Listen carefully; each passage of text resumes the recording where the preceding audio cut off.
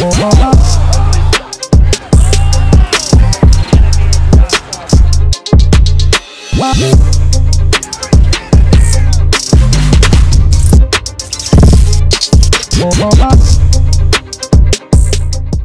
señores, el tema de Kansas Chimaev todavía sigue candente, sigue vigente ese tema.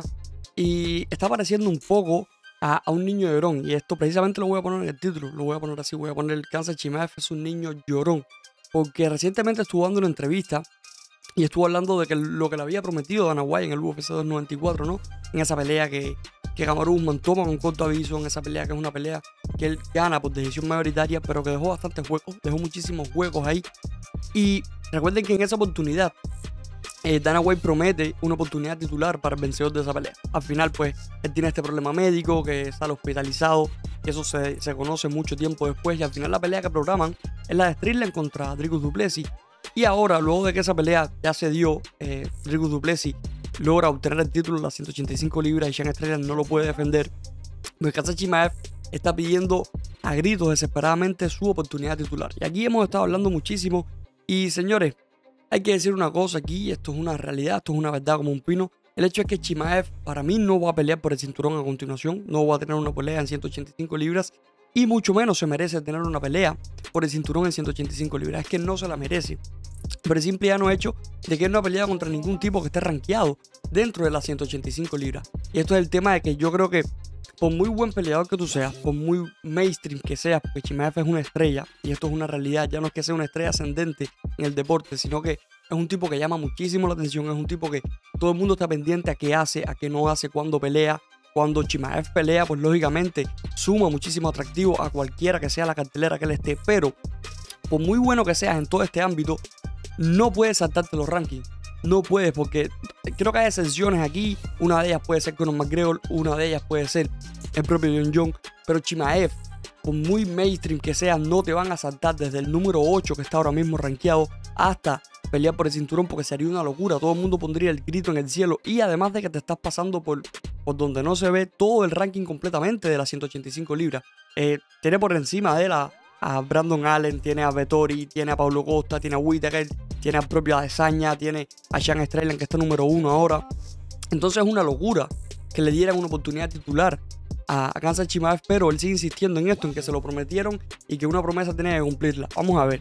Dana White en aquel momento, creo que una de las cosas que hizo para que se viera atractiva la pelea entre Kamaru Usman y Kansas Chimaev, lo cual para mí no fue una decisión acertada, porque era una pelea de que por muy poco tiempo de anticipación que había tomado Kamaru Usman, pues era una pelea que para mí se vendía sola ver a Kansas Chimaev enfrentarse a Kamaru Usman, aunque haya corto tiempo de anticipación, es una pelea que realmente es atractiva, simplemente atractiva. Entonces, creo que Dana White un poco para vender un poco más esta pelea, para agregarle un poco más de morbo y de picante y que se estuviera hablando de ella y se quitaran un poco los comentarios de, de todo lo que había sucedido en ese momento, que se terminan cayendo dos peleadores de esa cartelera, tanto Pablo Costa como Charles Oliveira, pues él decide salir a decir de que quien gane va a tener su oportunidad titular, de quien gane entre Kamaru Usman y Kansas Chimaev. Creo que lo hizo por esto, un poco para tratar de vender la pelea, un poco para tratar de agregar un poco más de morbo a esa pelea que al final ya les digo, para mí fue una decisión totalmente incorrecta porque ya era una pelea que tenía morbo en sí, tenía morbo, entonces no creo y nunca creí de que realmente era una pelea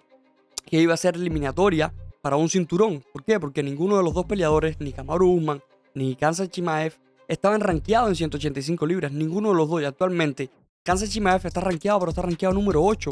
Entonces está muy atrás en los puestos. Y la crítica que él tiene ahora mismo es, tienes que pelear contra alguien de 185 libras, con algún top. Tienes que pelear contra un top 5 mínimo para poder ir por el cinturón luego. Mínimo tiene que ser contra un top 5.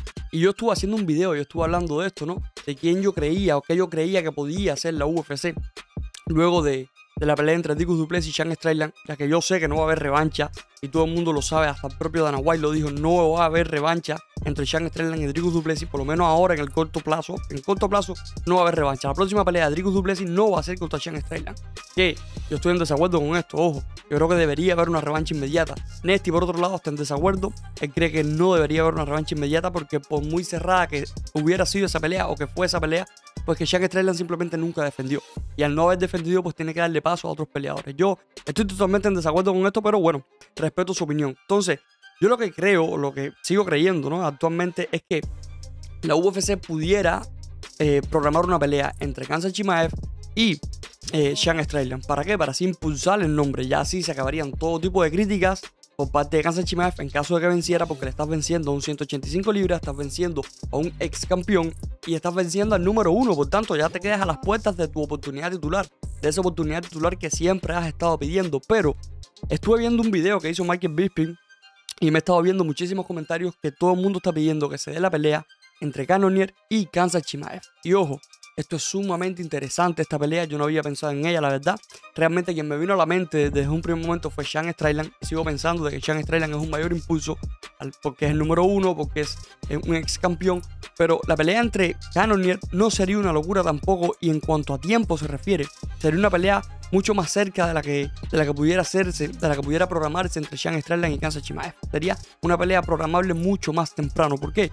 Porque los dos peleadores llevan un rato que no pelean, llevan bastante tiempo. Creo que Kansas Chimaev no pelea desde octubre, Cannonier desde mucho antes. Entonces, pues una pelea de cambios peleadores ahora mismo pudiera programarse para dentro de dos o tres meses. ¿Por qué? Porque tuvieran un buen campamento de pelea y pudieran ir a pelear. Y ahí yo creo que todo tipo de críticas se le acabaría a Kansas Chimaev en caso de una victoria. ¿Por qué? Porque por un lado, estás peleando contra un top 4 rankeado en la división de 185 libras, que es Cannonier me refiero. Es un tipo que ya peleó por el cinturón, es un tipo que ha peleado en los pesos pesados, un tipo que peleó en 205 libras también, es un tipo que está peleando ahora en 185 libras. Pues entonces, un tipo con una bestia total y absoluta. Entonces, si Kansas Chimaev le logra ganar a un Cannonier en caso de una posible pelea, pues esto sí lo pondría a las puertas de una oportunidad titular. También lo pondría a las puertas de una oportunidad titular, porque tomando el número 4 en los rankings, yo creo que la UFC no tendría otra opción que darle la pelea a Kansas Chimaev. Además de que Kansas Chimaev es un tipo de que va a vender sí o sí. Kansas Chimaev es un tipo que llama la atención y sería sumamente entretenido. Y creo que sería un gran pay-per-view el día que tengamos a Kansas Chimaev en una oportunidad titular. Y creo que lo mismo pasaría con Cannonier, o muy parecido con Cannonier. ¿Por qué? Porque si Cannonier logra vencer a un Kansas Chimaev que viene invicto, que viene con todo ese hype, que todo el mundo lo considera un futuro campeón en la división que sea que pelee, en este caso en 185 libras, pues eso lo pondría directamente en las puertas a pelear por el cinturón de 185 libras también. Recuerden que la última pelea de Cannonier es ante Sean Strickland, ex campeón ahora mismo de, de las 185 libras. Entonces, a ganarle a un tipo que viene invicto en estos momentos, pues lo pondría a las puertas sí o sí de esa pelea titular. Que al final del día es lo que quiere Cannonier y Cannonier ha pedido, esta pelea. Cannonier quiere enfrentar a Kansas Chimaev. Ahora, no sé qué tanto Chimaev quiere enfrentar a Cannonier porque realmente, si nos vamos a estilo de pelea, es una pelea complicada. Es una pelea bastante complicada y Chimaev aún no ha sido probado en 185 libras de verdad. No ha sido probado contra un tipo que esté rankeado top. Y Cannonier, bueno, puede decir la lucha puede ser un problema aquí, la lucha de Kansas Chimaev, sí, pero es que Cannonier es un tipo que tiene una fuerza bruta muy bestia. Porque el tipo estuvo peleando en 205 libras, el tipo estuvo peleando en pesos pesados. Hay que tener en cuenta esto. Entonces el tipo tiene una fuerza bruta que es una locura total y absoluta y tiene una condición física muy, pero muy buena. Extremadamente buena la condición física que tiene Cannonier. Que en cambio la condición física de Kansas pues ya hemos visto de que empieza muy, muy bien sus peleas, de que empieza con un ritmo altísimo, pero que a medida que la pelea va avanzando, pues se le complica, se le complica por el cardio, se le complica por esa condición física que tiene Kansas que no es tan buena, es una condición física para mí muy mejorable. Es un tipo que hemos criticado muchísimo por esto, porque tiene un cardio bastante deplorable Kansas y creo que es una de las partes que más tiene que mejorar. Y con Cannonier la tendría difícil, porque si con Cannonier esta pelea se alarga al tercer asalto, suponiendo que sería una, pelea de, tres asaltos, pues tendría que tener muchísimo cuidado en los intercambios con Cannonier, porque no va a ser lo mismo intercambiar contra Kamaru Usman, que es un 170 libras, por muy grande que sea. Ah, están intercambiando contra un tipo que es un 185 libras grande. Es un tipo que estaba en pesos pesados, un tipo que estuvo en 205 libras. So, es totalmente diferente la, el análisis aquí de una posible pelea para esto. Y por otro lado, es una pelea que pudiera estar encabezando cualquier Fight Night. No en el Apex, lógicamente, no vas a poner a Kansas Chimaev a en el Apex actualmente con el nombre que tiene. Esto es imposible. Pero cualquier evento, cualquier Fight Night que hagan en cualquier ciudad, que sea un evento, que hayan puntos en pay-per-view, pues Kansas Chimaev lógicamente pudiera estar encabezando esto y entonces ahí sí hacer una pelea eliminatoria por el cinturón. Ahí sí hacerla. ¿Por qué? Porque la haces a 5 asaltos, que es lo que yo creo. Al igual que pudiera hacer una coestelar de cualquier evento numerado a 5 asaltos. Pudiera hacerlo fácilmente esto. O no, ya otras veces se ha hecho. Otras veces se ha hecho dos peleadores que, que peleen a 5 asaltos aunque no estén en la, pelea estelar, que sea coestelar.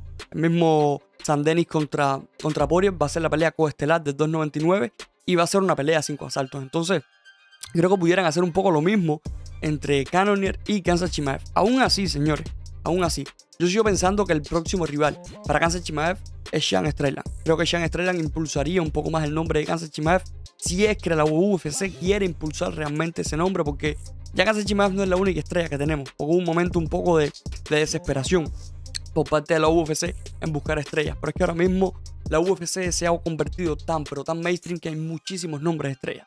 Hay muchos nombres. Hasta ahí estamos viendo ya lo que está pasando con el UFC 300, el 298, el 299, que cual de las tres carteleras está mejor en cuanto a nombres, en cuanto a peleadores peleando en esas peleas. Entonces, pues, Kansas Chimaev no sé hasta dónde la UFC lo quiere impulsar actualmente con todas las idas y venidas que han tenido, con todas las cosas no tan bien que ha estado haciendo Kansas Chimaev y con lo poco activo que hemos visto a Kansas Chimaev. Entonces no sé hasta qué punto le conviene a la UFC tenerlo o no como campeón en estos momentos. Ahora, de que sea capaz de vender el solito un pay-per-view completo, yo no tengo ningún tipo de duda. Tipo una bestia, tipo buenísimo, muy carismático. Y hay que dársela porque todos estamos pendientes a lo que haga Kansas Chimaev, a lo que diga Kansas Chimaev, tanto dentro del octágono como fuera de él. Pero yo realmente no había pensado en Cannonier, ahora lo pienso, me he visto comentarios de esto cuando los han puesto muchísimo, tanto a mí como en el canal. He visto a Michael Bisping hablando de esto, he visto otros canales también hablando sobre este tema. Y me parece interesante también. Me parecería una pelea sumamente interesante, una pelea que habría que hacer un análisis bastante extenso, porque es un choque de estilo de logos. Y pondría bien a prueba las habilidades de Kansas Chimaev en cuanto a su lucha, en cuanto a cuánto puede realmente levantar, o en cuánto puede derribar a un tipo de 185 libras tan grande como lo es Cannonier. Así que nada, gente, déjenme ustedes saber qué piensan aquí abajo en los comentarios, que los voy a estar leyendo. Yo lo dejo por aquí. Nos vemos en el próximo video.